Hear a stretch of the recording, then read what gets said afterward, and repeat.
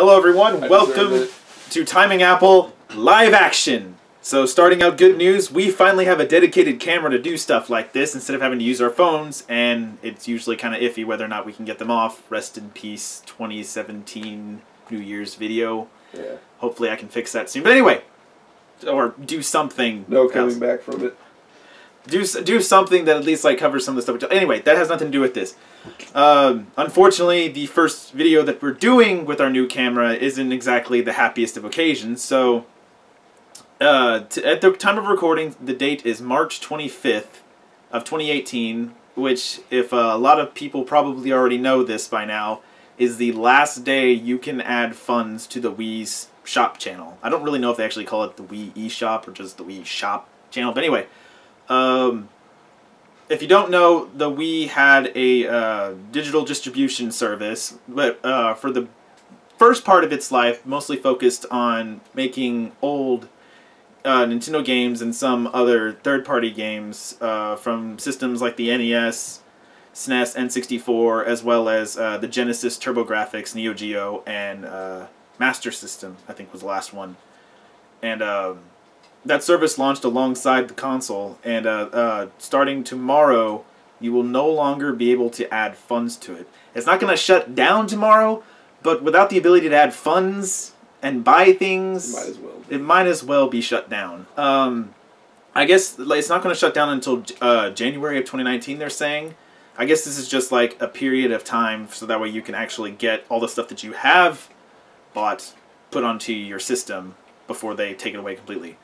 Um, but essentially, this is like the last day that it's actually going to be useful. I myself spent the better part of yesterday trying to get. You can't really see them very well on the camera, but I got like a, as many, as much stuff as I could off of it before it shut down. But uh, I didn't want to talk too much. I, th- the point of this video was mostly to sort of share a story about it. I most people have probably talked about like the significance of this to death.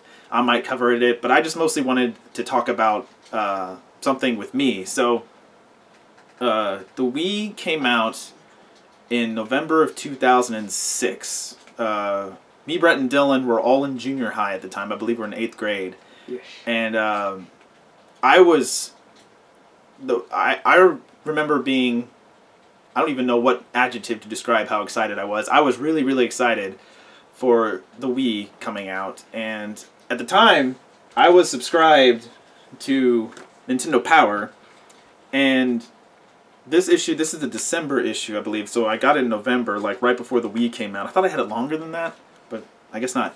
Um, I kept this in my backpack every day since I got out, and it had this was the issue that had the launch guide for the. Yeah, that address isn't good anymore, so I don't care if that shows up on camera. But um, this had the launch guide for the Wii, so it uh, talked. Oh, it gave an overview of what came in the box and what would be available at launch and stuff. And there was one page dedicated to the Virtual Console, which honestly is probably the feature about it I was most excited about. I didn't really start playing games until the GameCube, so there were a lot of games, of course, prior to that on the previous three systems that I had never even touched, but really wanted to play. So this was finally going to give me an opportunity to play games like Super Mario 64, the original Legend of Zelda, Super Metroid, Paper Mario, Kirby 64, a lot of games that I missed out on that I really wanted to play. And um, there's actually, I had the other issue here. I didn't realize this, but this issue actually had the full list of games that were going to be available at launch. There was only 31 games available at launch for the Virtual Console when it came out. And uh, something else that was interesting about this is that uh, when I was reading, going over this before the video, they actually had plans to do uh, original digital games for the service, basically from the beginning, but a little bit on that uh, later. But most people probably don't know about WiiWare. But yeah, it started out with 31 games, and um, basically now it's well for the coming years that it was active until now, it probably had the big. It ended up having the biggest selection of retro games that you could get off of an official, like legal service that wasn't pirating. That I think of, that I can think of, at least of Nintendo stuff, and Genesis. Um, not even the, the Wii U and the 3DS sort of tried to do something like this, but it never matched the library of the variety and library that the Wii's had. And uh, it's kind of it's just thinking back to that. It's just really sad that it's finally uh, they're putting the axe to it, and everyone is hoping that the Switch will somehow follow in its footsteps, at least with the terms of variety. Because like when I was when I was doing research on what I needed to get off of it, there was like no Square Enix RPGs on the Wii U or 3DS available except for Tactics, the Game Boy Advance Tactics. That was it that was available on the Wii U. But uh, the Wii had the Wii's shop channel had Final Fantasy one, four, and six, Mystic Quest, Chrono Trigger, Secret of Mana, you know all the good ones. Um, so for me, since that was like the most excited feature about the console when it came out, it's just kind of sad knowing that it won't be available much longer. And what's actually extra sad, I didn't really pay much attention to this side of it as much as I probably should have, but uh, eventually it did start having its own unique games come out for it. They were only available on it. And some of them were did make it to other consoles, like some of um, I'm trying to remember. Uh, there's Tales of Monkey Island. I think there was a Tales of Monkey Island that was available on WiiWare, which is what they called their original games. Uh, but I think that made it to other consoles. But there's a lot of games on the WiiWare that never made it off there. That was only available on there, and that's just kind of sad thinking about all those games that will at least not legally be obtainable anymore. Uh, from what I was able to find, there aren't too many good ones, but there were some good ones. And I tried to get a few of them, or as much as I could, but there's only so much I can do. But it's it's just sad to think about because I don't think it was. I'm pretty sure it wasn't the first digital distribution thing, but it was definitely one of the earliest. I don't remember if 360 came out with their marketplace because the 360 was out for a year before the Wii came out, so I'm pretty sure they had their marketplace set up by then. But um, this is probably at least one of the oldest ones, oldest uh, distribution systems that is still going on. And now that it's shutting down, it kind of makes you a little scared about some of the other ones, like how long will the 360 be supported? How long will the PS3 be supported? Which is one that I'm really scared about because I have a lot of games uh, claimed on my PS uh, PSN account for PS3.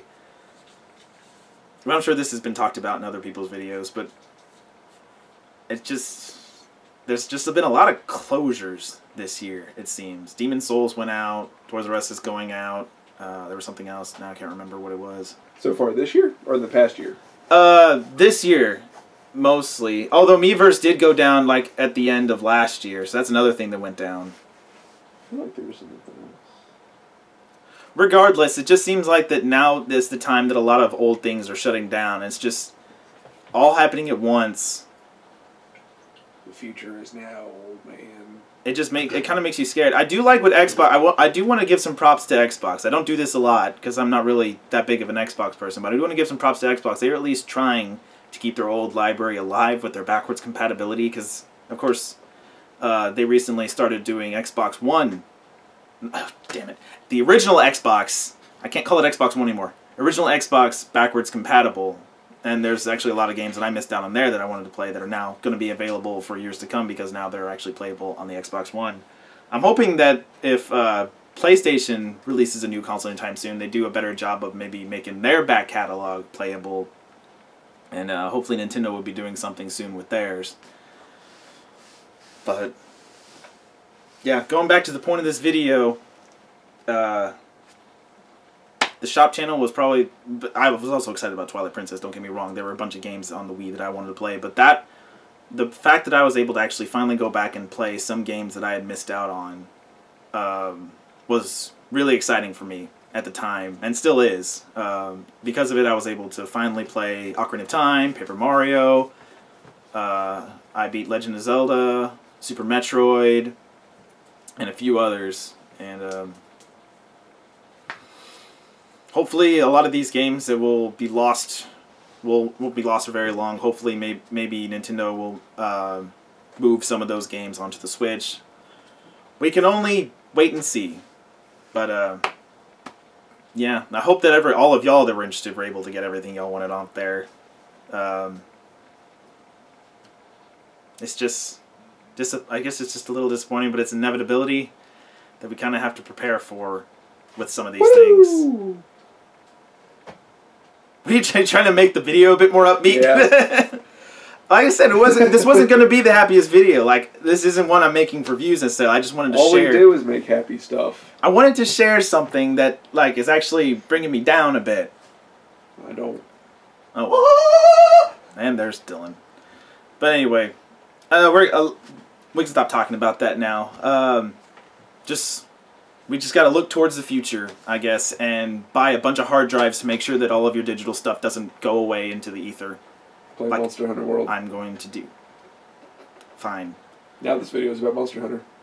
I do want to say that I'm going to try to be making some more Try. non-Monster Hunter content soon. Now that I have this camera, I have some ideas. Actually, go ahead and uh, whoever watches this, you let me know. will. Brett, shut up. Let me know what y'all want to see that we can do live action. That maybe like more discussions about stuff going on with games or whatever. Why do we have to fight? Unite- We do unite live action freedom. Monster Hunter. Just tell us what you want to see in the comments. Yes. We are going to be making more Monster Hunter stuff, definitely, but I, I'm going to try to also make some other stuff. Farming decorations. All right, that's enough with this downtrodden, sad video. Goodbye, everyone. Yeah, fuck off.